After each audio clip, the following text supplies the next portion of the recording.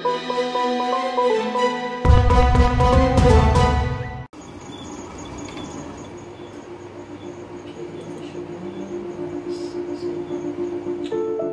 علوم دانشگاه تهران لیسانس بیولوژی گرفتم فوق لیسانس هم پاتوبیولوژی هست و دکترام مدیکال میکروبیولوژی از دانشکده پزشکی دانشگاه لاوال کانادا.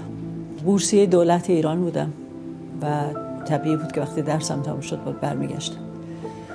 من درست تقریبا یک سال قبل از انقلاب برگشتم ایران به عنوان استادیار دانشکده پزشکی شروع به کار کردم. و بعد از انقلاب دانشگاه ها بسته شد. برای دو سه سال هممون بیکار بودیم این جمله من. و تو این فاصله سازمان پژوهش علمی صنعتی ایران یکی از تنها مرکز تحقیقات کاربردی ایرانه.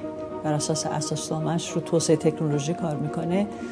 اعلام کرده بودن که نیاز به تخصصی دارن روی fermentation process برای تولید آنتیبیوتیک. موقعی که پایلوت بیوتکنولوژی نصب شد بلافاصله تو تمام رسانه های بین المللی رفت. حالا البته به رادیو اسرائیل رسما اینو اعلام می‌کرد که نسرین معظمی داره بمب میکروبی می‌سازه اونجا. و من کاری که کردم شروع کردم مکاتبه کردن با سازمان ملل.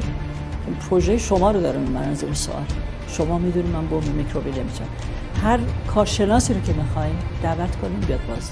و یه دوره طولانی از طریق سازمان ملل کارشناس های متعدد اومدن پایلوت. بازدید می‌کردن گزارش می‌دادن. میگم حتی دیگه نمونه می‌گرفتن. هر کار دلشون می‌خواست بکنن و بعد این باعث شد که سال 1992 تقریبا من آخرای چند سال بعد از خاتمه پروژه بود.